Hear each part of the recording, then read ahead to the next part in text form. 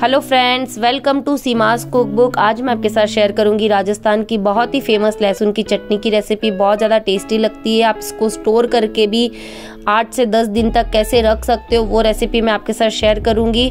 तो चलो फटाफट से देख लेते हैं इसको मैं मेरे यहाँ पर कैसे बनाती हूँ। तो यहाँ पर मैं ले रही हूँ सूखी वाली जो लाल मिर्ची होती है, वो इसको मैंने एक घंटा गर्म पानी में भिगो कर रख दिया है।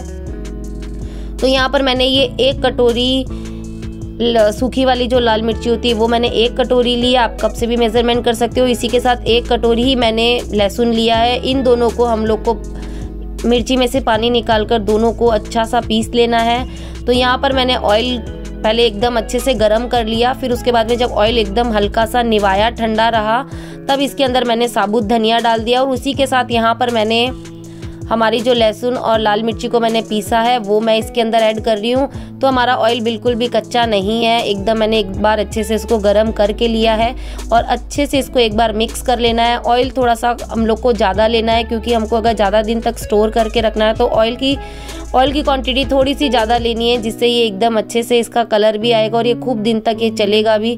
तो यहाँ पर आप देख सकते हैं, इसके अंदर उबाल आना भी स्टार्ट हो गया। तो यहाँ पर मैं डाल रही हूँ टेस्ट के हिसाब से नमक। नमक थोड़ा सा ज़्यादा ऐड करें। और अच्छे से इसको हमें कंटिन्यू चलाते रहना है, जब तक कि इसके अंदर से अच्छे से खुशबू नहीं आने लग जाती है और ये एकदम अच्छे से इसमें से ऑयल अलग नहीं हो जाता। तब तक हमें इसको एक बार अच्छे से पका लेना है मीडियम टू लो फ्लेम पर। बीच बीच में इसे कवर करते हुए हम पकाएँगे। मैंने और भी यहाँ पर रेसिपी शेयर की हुई है। लेकिन उसको आप खूब ज़्यादा दिन तक स्टोर करके नहीं रख सकते हो तो यहाँ पर मैं इसके अंदर बिल्कुल भी खटाई ऐड नहीं करूँगी। अगर आपको आठ से दस दिन तक स्टोर करके रखना है या उससे ज़्यादा स्टोर करके रखना है तो इसके अंदर हमें कोई भी खटाई ऐड नहीं करनी है, क्योंकि अगर आप कोई भी खटाई ऐड करोगे तो ये जल्दी से ख़राब हो जाएगी।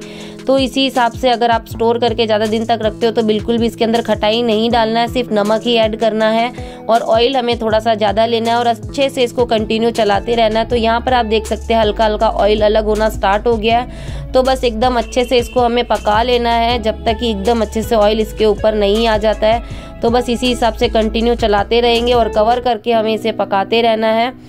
तो यहाँ पर आप देखेंगे कि अब हमारी जो लहसुन की चटनी है, उसके अंदर से एकदम अच्छे से कलर भी आ गया है इसके अंदर और ऑयल भी अच्छा अलग हो गया है।